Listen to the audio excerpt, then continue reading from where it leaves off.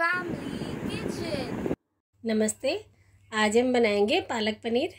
यहाँ पे हमने आधा किलो पालक लिया है। पालक को हमने पहले ही अच्छे से धो के काट के रख लिया।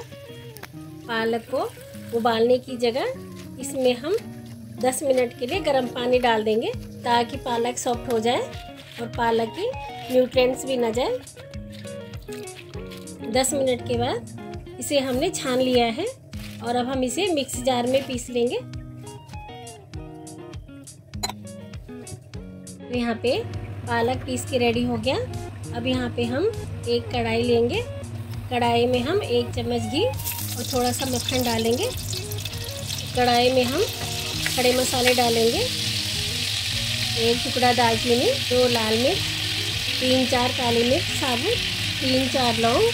बड़ी इलायची को हमने छील के डाल दिया है।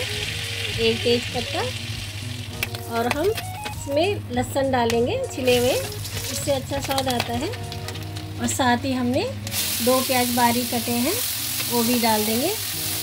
और ऊपर से हम थोड़ा सा साबुत धनिया डालेंगे। प्याज को हमें डार्क ब्राउन करना है। यहाँ पे प्याज ब्राउन हो गए। अब इसमें हम एक चम्मच लहसुन अदरक का पेस्ट दो टमाटर की हमने प्यूरी बना रखी है, वो भी हम इसमें डाल देंगे। एक मिनट चलाने के बाद इसमें हम मसाले ऐड करेंगे। एक चम्मच धनिया पाउडर, आधा चम्मच हल्दी पाउडर, एक चम्मच नमक, आधी चम्मच कुटी लाल मिर्च, एक चम्मच जीरा पाउडर, एक चम्मच गरम मसाला, दो हमने ग्रीन मिर्च ली है। सारे मसाले हम अच्छे से मिलाएँगे। मसाले को अच्छे से चलाने के बाद इसे हम दो मिनट के लिए ढक देंगे। दो मिनट के बाद इसमें हम थोड़ी सी कस्तूरी मेथी और यहाँ पे हमने सूखा पुदीने का पाउडर ले रखा है, वो भी हम इसमें डाल देंगे। मसाला अच्छे से भुनने के बाद इसमें हम पालक डाल देंगे।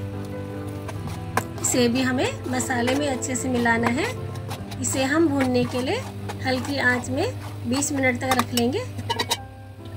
20 मिनट के बाद अब यहाँ पे पालक अच्छे से भुन गया है। अब इसमें हम पनीर ऐड करेंगे। यहाँ पे हमने आधा किलो पनीर लिया है। वो भी हम साथ में अच्छे से मिलाएँगे।